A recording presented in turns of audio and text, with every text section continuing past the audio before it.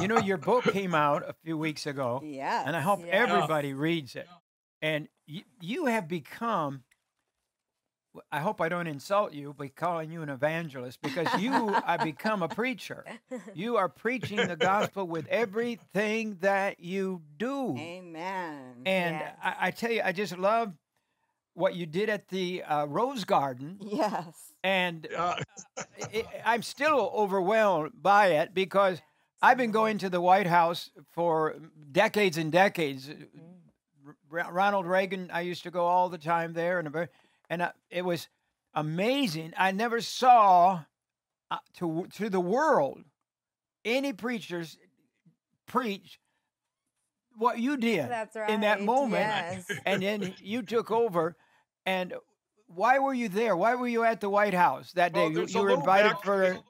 Yeah, there's a little backstory on that, which I'll tell here. I think this might be the first time told uh, um, nationally. But since that White House, by the way, I've uh, I've done 91 interviews, so and from all the way across Oh. the country, from everywhere. But but here, um, so I've been busy every day since. But what happened was, is when we started making the mask, I got an email from the uh, from the uh, White House, and they and from the Vice President's office, and they said they go. Um, you know, Mike, would you come to a roundtable event we're having? And I said, sure. Well, then it said, could you write some remarks about what your company's doing to help during the pandemic?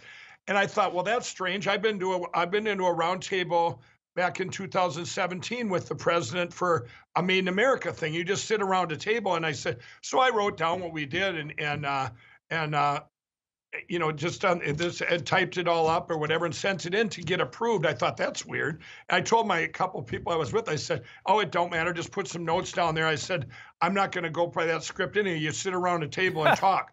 well, anyway, we got there. We got there, and I get into the White House, and we get we go to this room. I got there early, and um, and uh, I got got in there to the round table, and there was like five CEOs, four other CEOs, and me, and the vice president, and a couple other people on the end.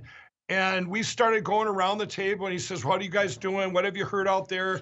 You know, trying to grab what every, you know, you know what's going on. How much can you make, and all this stuff." Well, then the president came in, and he sat down, and he goes, he says, uh, he kind of went around the table again.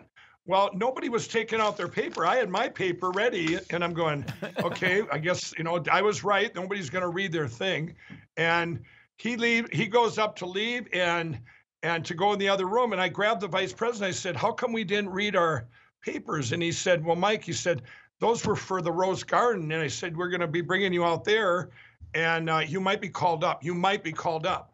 So we went in the other room, and the president's talking to the C, these other CEOs, and they're sitting there. It was right next the room, right next to the Oval Office, and and I just got it. It felt like it came from God. I said, you know what? As long as I'm get to talk out there, I'm going to write something, uh, give people a message of hope. I didn't just want to brag up on what MyPillow's doing, what they had told us to send in.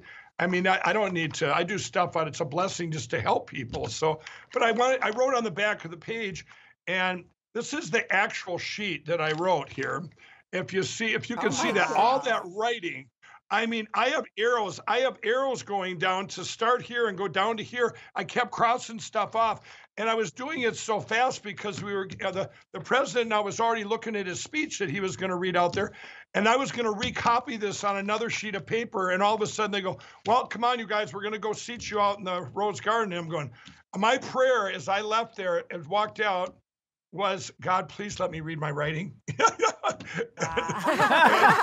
got out and I and we got out and I'm sitting. They seat me right in front of the president, the vice president to my right.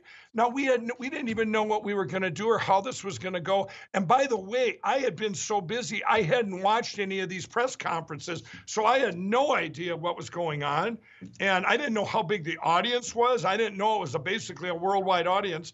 Well, when the president called me up he I went straight up to the podium, and I guess we were all supposed to go around on the left. So that, but then he they stopped the other guys from coming up. So at that moment in time, it was just myself and the president. And as it, as you, I read it, and I turned to him, and I said, "Can it, do you mind if I say something or uh, read some, or say something off the cuff?" And he goes, okay. goes, sure. and, and this is, uh, and then I read it, and uh, and uh, I guess you guys have the footage for that. But I read it, and I didn't realize how big of a thing it was going to be. But I'll tell you, when I went back into the White House, the vice president came up to me and he was like almost like in speeches. He goes, Mike, you, he said something like, You've opened up the heavens. He goes, I'm, he was like, just, it would just make whatever he said it, it, made me feel good because I thought, did I did I talk right? My voice was a little hoarse because I had had vocal cord surgery just ten days earlier, very serious surgery where I couldn't I couldn't speak for a week. So my so I was kind of hoarse up there, but I didn't. I just didn't know if I had done something I should have done. and he, but he assured me, well, this is the best thing ever, you know. It was, and uh, I left the White House. I had 750 text messages I didn't know that many people had my phone number. I mean, I was, I was 2,000 emails and it just went, whoa.